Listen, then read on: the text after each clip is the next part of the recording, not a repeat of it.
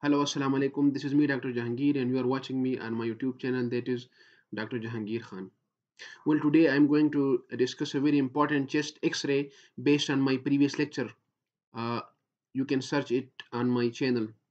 That is the RIPE criteria, R-I-P-E, rotation, inspiration, penetration, uh, exposure. अगर RIPE criteria में आपकी गड़बड़ आती है तो आप एक्सरे पे सही तरह कमेंट नहीं कर सकते बंदे में कोई डिज़ीज़ नहीं होती और फॉल्टी टेक्निक की वजह से आपको इस तरह लग रहा है कि इसमें मसले हालाँकि वो आर्टिफेक्ट होते हैं। Now coming directly toward the X ray without wasting further time तो इसमें आप देख सकते हैं कि इसमें आपको यहाँ पे ये वाला फ़िल्म पे फोकस करें और फिर इस पे फोकस करें।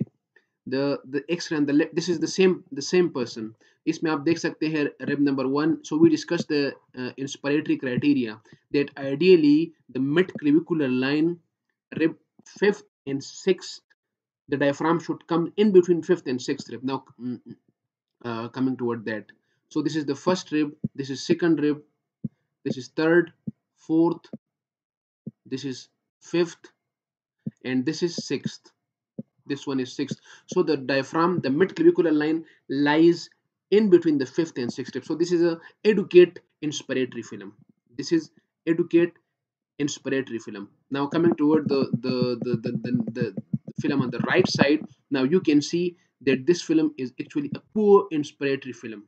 यहाँ पे आप देख सकते हैं rib number one rib two rib three and rib four so this is poor inspiratory film और पुअर इंस्पिरेशन की वजह से आपके क्या क्या मसले होते हैं?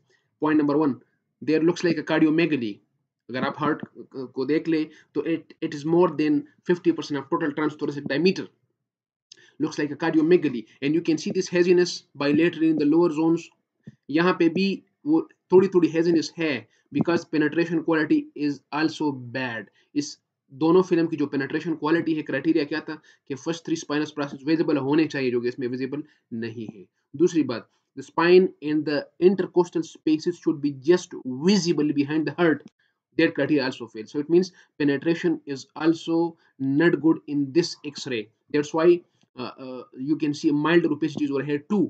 So cardiomegaly and bilateral haziness it looks like a patient is having cardiac failure with pleural effusion लेकिन इस तरह नहीं है that's why we advise further uh, investigation जो कि नहीं होने चाहिए थे आप पेशेंट एग्जामिन कर दिया आपने एक्सरे देख लिया और आपके दिमाग में ये क्वालिटी वाला क्राइटेरिया है कि it is poor inspiratory film तो फिर आप जो है मजीद इन्वेस्टिगेशन एडवाइस नहीं करते। और यही मसला होता है कि हम पेशेंट को पहले चार सी एडवाइस करते हैं, उनको ईको एडवाइस करते हैं pro B N P expensive investigation करते हैं।